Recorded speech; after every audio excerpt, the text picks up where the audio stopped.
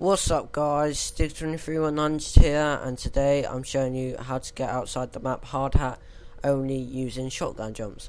So basically the first shotgun jump you want to do is you want to come where I am and you want to get your mate to stand on these, I think wooden planks or something. But then you want to shotgun jump him on top of this container.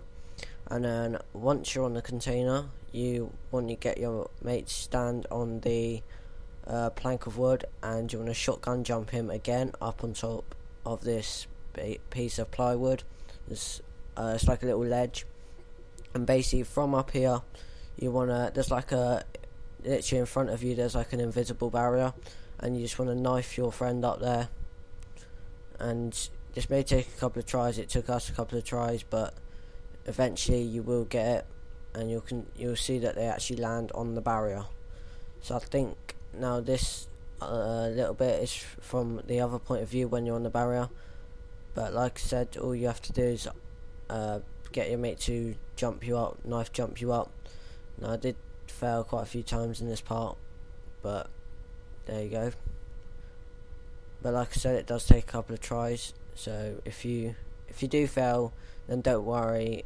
Just carry on trying, and you will, will eventually get it so once you're done from there, all you want to do is um, you want to get your mates to shotgun jump you even higher, and you want to get quite a few people for this one, about two or three people for this one, and then like this is another view of me shotgun jumping someone else up. Well, my, my friend shotgun jumping me up onto the barrier, so it's just showing you a different position. But it's exactly the same, so don't worry.